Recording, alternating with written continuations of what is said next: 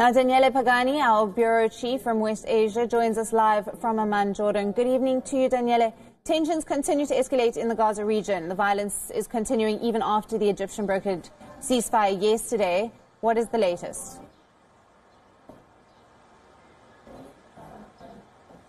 As of now, uh, the calm is reigning over Gaza and over the southern part of Israel, which has been the most affected area in Israel uh, in these latest clash between the Israeli Defense Forces and missiles launched from the Gaza Strip. The things remain, as always, very fragile and things are very fluid. The Israeli Defense Forces enhanced their presence on the border. This means that they sent additional tanks, soldiers, and also the Israeli Chief of Staff recalled some reserves which Israel, eh, which is a measure that Israel takes in uh, dangerous times. It means that all those Israelis who can be called back into uniform have been called back. But as of now, the calm is reigning.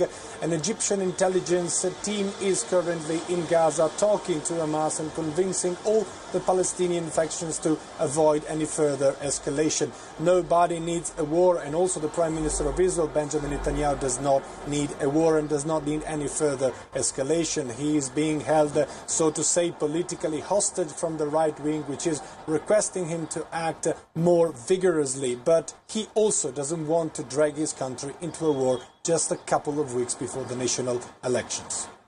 So then the ceasefire negotiations are continuing between Israel and uh, Hamas. And uh, yes, you mentioned the elections, they're just about two weeks. Do you think this will cause additional pressure in the region?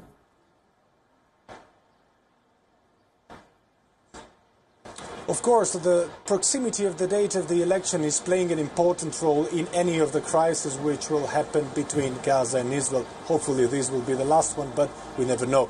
Uh, the Israeli Prime Minister needs the Israeli right wing on board. That is the political part that he is courting in order to try to win for the fifth time the term as a Prime Minister. But it is the right wing in Israel that is requesting him to ask to act more vigorously and more violently. Therefore, so to say, Prime Minister Benjamin Netanyahu is under a lot of pressure. Just saying that in the aftermath of the first rockets launched by Hamas, hundreds of people in the southern Israeli city of Ashkelon protested against Netanyahu, judging his attitude too soft, too tolerant when it comes to the crisis. And this is the very vote bank that Netanyahu needs. So, uh, as long as the ceasefire stays in place, Prime Minister Benjamin Netanyahu does not need to take any decision or any action, and this is what will benefit him. Thank you for that report. Uh, our West Asia Bureau Chief, Daniele Pagani, joining us on the latest on the tensions in.